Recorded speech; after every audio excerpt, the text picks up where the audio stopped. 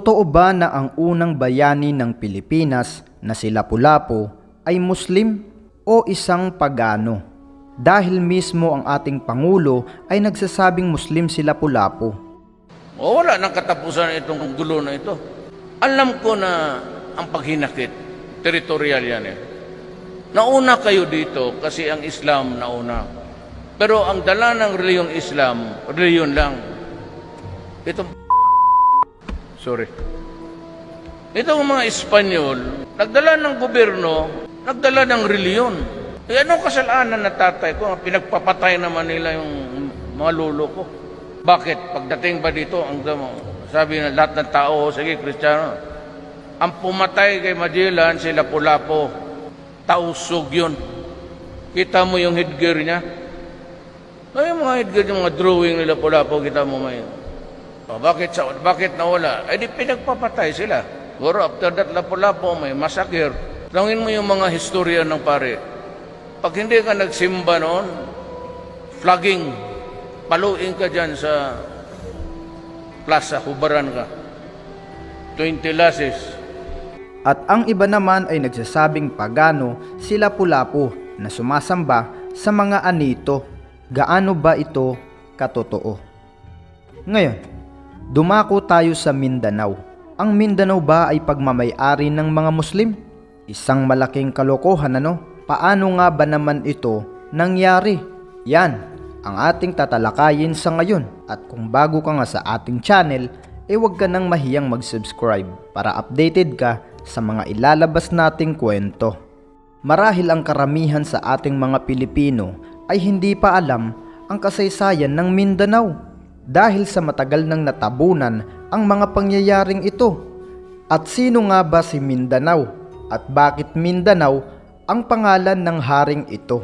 Si Sultan Sri Mindanao ay naging hari noong taong 1412 hanggang sa loob ng 1473 ng tribong Maginda at ng Mara. At dahil gusto ni Sultan Sri Mindanao ipahiwatig ang simbolo ng kanyang kaharian na kung tawagin ay tribong Maginda ay ginawa niyang Magindanao at ang tribong Mara naman ay ginawa naman niyang Maranao. At noong namatay na si Sultan Sri Mindanao ay ipinangalan niya ang kanyang kaharian sa kanyang anak na si Sharif Abu Bakar Zain na naging sultan sa lugar ng Mindanao sa loob ng 1473 hanggang sa loob ng 15 20. At alam nyo bang si Sri Mindanao ay lolo ni Sheriff Ali Kabungsuan na kung saan ito ay ang sultan ng Maguindanao na pumalit sa kanyang ama sa loob ng 1520 hanggang sa loob ng 1543. Dahil ang ama ni Sheriff Ali Kabungsuan ay si Sheriff Abu Bakar Zain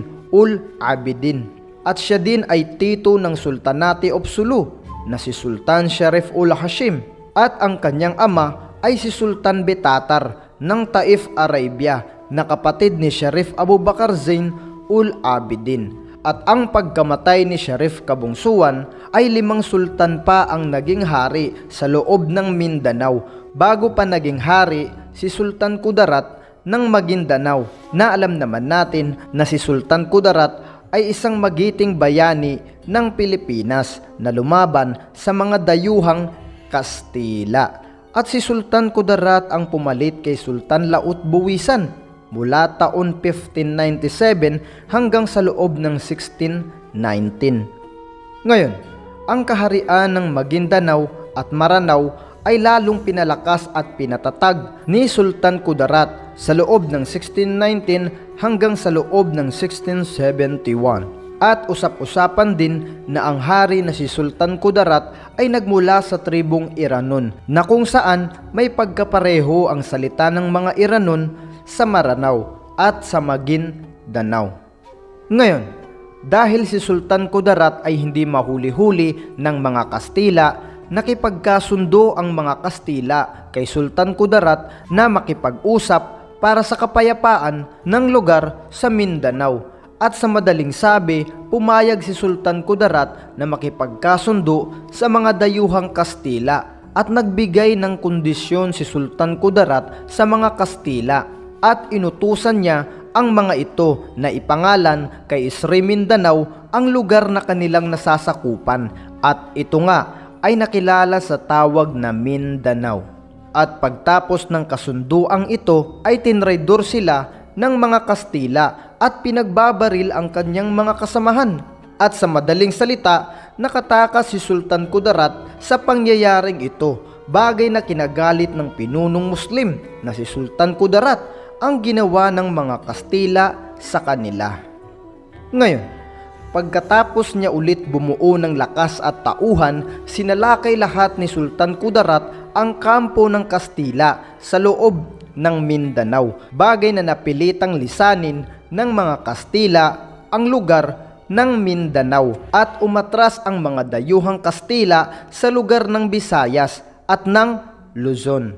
At ang pangalan ng lugar na Mindanao ay hindi na napalitan ng mga Kastila dahil hindi na bumalik ang mga Kastila sa lugar ng Mindanao.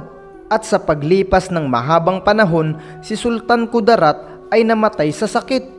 Kinilala siyang isang magiting na bayani ng Pilipinas at sa katunayan, ipinangalan kay Sultan Kudarat ang isang lungsod sa Maguindanao at sa lugar ng Cotabato ay may makikitang rebulto ni Sultan Kudarat upang makilala sa susunod na henerasyon.